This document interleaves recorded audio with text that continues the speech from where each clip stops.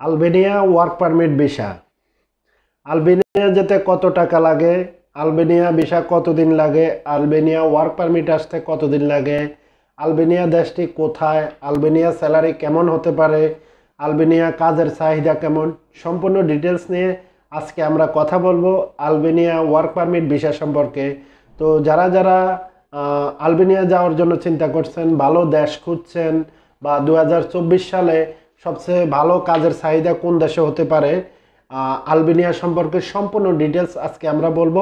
তো আপনারা ভিডিওটি না টেনে শুরু থেকে শেষ পর্যন্ত দেখবেন। আর আরেকটা কথা বলে রাখি, আপনি যদি আমাদের এই চ্যানেলে নতুন হয়ে থাকেন, তাহলে অবশ্যই আমাদের চ্যানেলটি সাবস্ক্রাইব করবেন। আর যারা পুরাতন আছেন, চ্যানেল মানে ভিডিও দেখেন ইনফরমেশন মানে নিচ্ছেন, কিন্তু অবশ্যই সাবস্ক্রাইব করছেন না, আপনাদের সবাইকে বলব, আপনারা সবাই আমাদের প্রবাসী ব্লগস ওয়ানের পরিবারে যুক্ত হয়ে যান। তো প্রিভিউয়ার্স চলুন, আজকে আমরা আর দেরি নয়, আমরা পুরো ডিটেলসটা বলব আজকে আলবেনিয়া সম্পর্কে সঠিক ইনফরমেশন চলুন, বিস্তারিত। আলবেনিয়া যেতে কতদিন সময় লাগে? প্রথম কথা হচ্ছে, আলবেনিয়া সম্পর্কে আমাদের একটু জানতে হবে, আলবেনিয়া এটা কোথায়? এটা কোন দেশ? এটা অনেকেই জানে না। আলবেনিয়া হচ্ছে ইউরোপের মানে ভলকান, এটাকে ভলকান বলা হয়, ভলকান এরিয়া, যে আলবেনিয়া দক্ষিণ পূর্ব ইউরোপের পাশে অবস্থিত, যদিও এটি ইউরোপ নয়, দক্ষিণ পূর্ব ইউরোপের পাশে অবস্থিত আলবেনিয়া।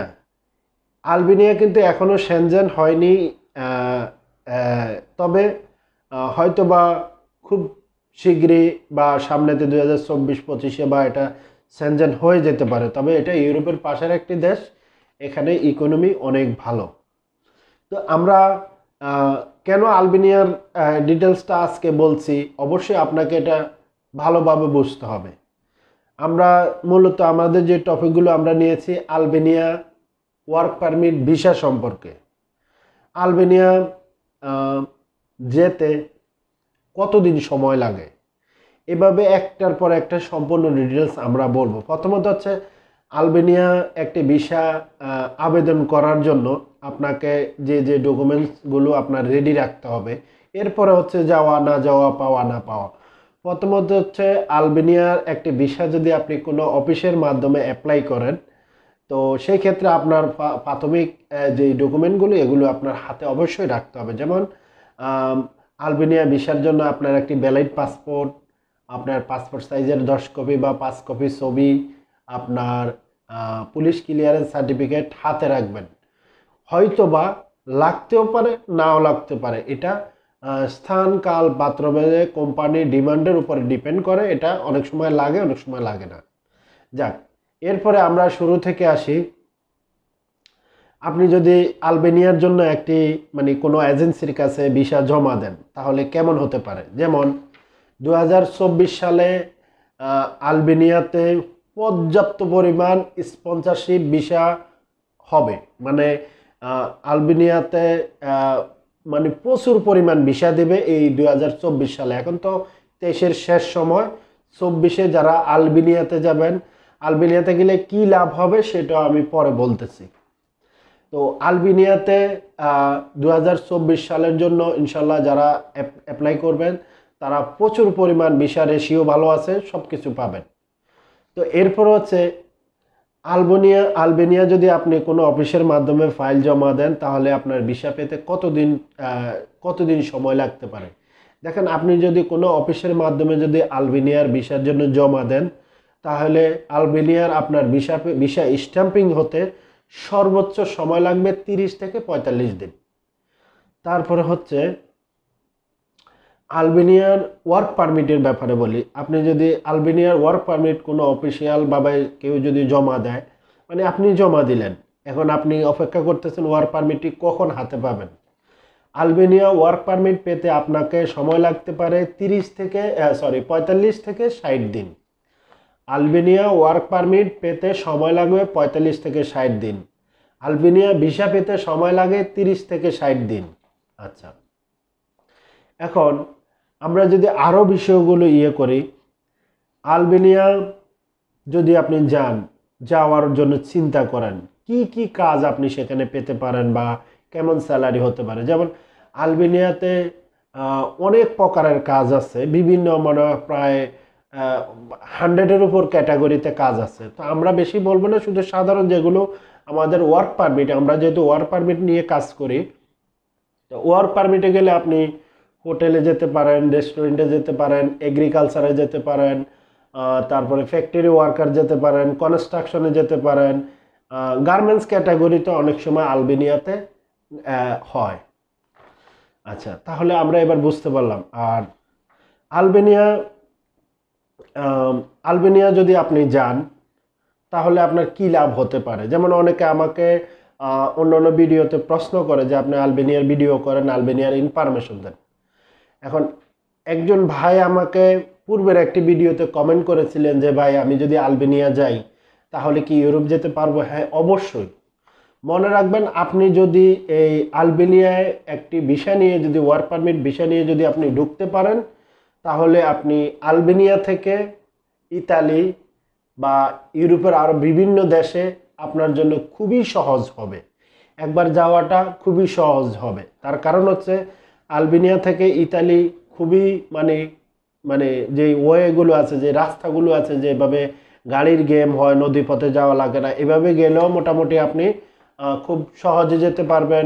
এরপরে যদি আপনার বৈধতা থাকে, আপনি সেখানে যদি ওয়ার্ক পারমিটে যান, তাহলে আপনাকে অবৈধ পথে যেতে হবে না, আপনি বৈধ পথেই আলবেনিয়া যেতে পারবেন। এরপরে হচ্ছে আলবেনিয়াতে যদি আপনি যান, তাহলে কি কোন কোন কাজগুলোতে কি পরিমাণ স্যালারি হতে পারে? দেখেন, এটা কিন্তু ইউরোপের দেশ না। গত গত একটি ভিডিওতে এক ভাই আমাকে কমেন্ট করে বলেছিলেন মানে আমি সম্ভবত একটি দেশের ইনফরমেশন দিয়েছিলাম স্যালারি সম্পর্কে বলেছিলাম।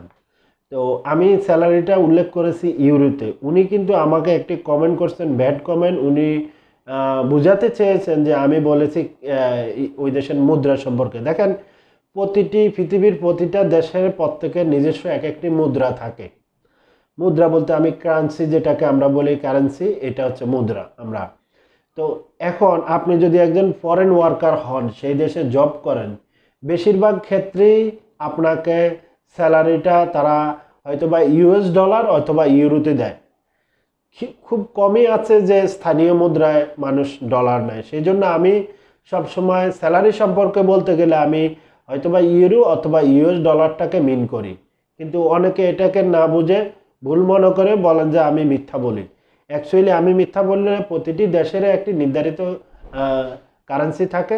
তাদের কারেন্সির হিসাবটা আমরা ধরি না। কারণ আমাদের বাংলাদেশিরা যখন যায় অন্য দেশে তখন তারা ডলারটাই বেশি ইয়ে করে, প্রাধান্য দেয় এবং ইউরোটা। তো এখন আপনি যদি দু হাজার চব্বিশ সালে যদি আপনি আলবেনিয়াতে যেতে পারেন, মনে করেন আপনি যদি কনস্ট্রাকশনে একজন মেশন হিসাবে যান ইলেকট্রিশিয়ান হিসাবে যান প্লাম্বার হিসাবে যান, তারপরে আরও ওয়েল্ডার আরও আদার ক্যাটাগরিতে যান, তাহলে আপনার স্যালারি কত হতে পারে? যদি আপনি আপনার কাজের অভিজ্ঞতা থাকে, তাহলে আপনি সর্বনিম্ন স্যালারি আপনি পঞ্চাশ থেকে সত্তর, আশি, এটা ধরে রাখতে পারেন। সর্বনিম্ন পঞ্চাশ সর্বোচ্চ বা মিডিল বা সর্বোচ্চ গেলে সত্তর আশি, এক লাখও হতে পারে এটা পর্যায়ক্রমে। তবে সর্বনিম্ন স্যালারি আপনি পঞ্চাশ হাজার ধরে রাখতে পারেন। যদি আমরা হিসেব করি চারশো পঞ্চাশ ইউরো যদি আপনি হিসাব করেন এখন, ইউরোর দাম হচ্ছে একশো তিরিশ থেকে বত্রিশ টাকা বা আরও বেশি, কম বেশি হতে পারে। তো সেই হিসাবে হিসাব করলেও আপনি দেখেন কত স্যালারি আসে। এটা হচ্ছে মোটামুটি একটা মিডল হিসাব, তবে অনেক সময় কম বেশি হয়। এটা নিয়ে আপনারা ভুল বুঝবেন না। তো আলবেনিয়াতে চাহিদা ভিসা রেশিও কেমন? দেখেন, আলবেনিয়াতে বাংলাদেশিদের জন্য ভিসা রেশিও বর্তমানে হচ্ছে আপনার পঁচাত্তর থেকে আশি পার্সেন্ট যদি আপনার ডকুমেন্টগুলো আপনি যে অফিস দ্বারা অ্যাপ্লাই করবেন, সেই অফিস যদি আপনার প্রপার ডকুমেন্টগুলো সাবমিট করতে পারে, সঠিকভাবে কাজ করতে পারে, তাহলে আপনি খুব সহজেই আপনি আলবেনিয়াতে ওয়ার্ক পারমিটে যেতে পারেন। আর আরেকটা কথা হচ্ছে যে আলবেনিয়া যেতে কত টাকা লাগে? এই কথাটা, এই প্রশ্নটা খুবই জটিল প্রশ্ন। তার কারণ হচ্ছে, আলবেনিয়া কিন্তু ওয়ার্ক পারমিটের দাম প্রচুর। আলবেনিয়াতে ওয়ার্ক পারমিটের দাম অনেক বেশি। তো অনেক, কিছু কিছু ওয়ার্ক পারমিট মানে কিছু কিছু ক্ষেত্রে ওয়ার্ক পারমিট পঁয়তাল্লিশশো চার হাজার পাঁচশো ইউএস ডলার। তো এটাকে চার হাজার ডলারে কত হতে পারে আপনি হিসাব করেন? শুধু একটা ওয়ার্ক পারমিটের দাম, এরপরে ভিসা আছে প্রসেসিং আছে মেইন পাওয়ার আছে এম্বাসি অ্যাপয়েন্টমেন্ট আছে আরও অনেক আনুষঙ্গিক অনেক খরচ থাকতে পারে। তারপরেও আমি একটা মানে একজ্যাক্ট হিসাবটা আমি বলতে পারব না, তো এটা স্থানকাল পাত্রভেদে কম বেশি হয়। তবে আপনি একটা টার্গেট ধরে রাখতে পারেন, ছয় থেকে দশ লাখ টাকার মধ্যে ধরে রাখতে পারেন আবার কোনো পর্যায়ে বেশিও হতে পারে। তা আমি এই জিনিসগুলো আসলে বলতে চাই না, অনেকে আমাকে বলে যে আপনি বিশার দাম কেন বলেন আপনি রিসপ্লাইতে তারপরে আমি জাস্ট একটা ধারণা দিলাম এর চাইতে আহ, হয়তোবা যেটা বেশি বলছি বেশিটার থেকে কম হতে পারে। তবে ছয়ের উপরে ছয়ের নিচে আপনি যেতে পারবেন না ছয়ের উপর থেকে আপনি নয় সাত আট নয় দশ যার সাথে যেভাবে আপনি কন্ট্যাক্ট করতে পারেন। তো প্রিভিয়ার্স আশা করি আমার মনে হয় আপনারা আজকের এই আলবেনিয়ার যেই তথ্যগুলো অবশ্যই পেয়েছেন। আর অবশ্যই ভালো লাগলে আমাদের এই ভিডিওটি যদি একটি লাইক দিবেন এবং আমাদের এই চ্যানেলটি সাবস্ক্রাইব করবেন আর আমাদের ভিডিওগুলি শুরু থেকে শেষ পর্যন্ত না টেনে দেখবেন, তাহলে আপনি মোটামুটি একটি সঠিক ধারণা পাবেন। তো আজ এই পর্যন্তই, ভালো থাকুন, আল্লাহ হাফেজ।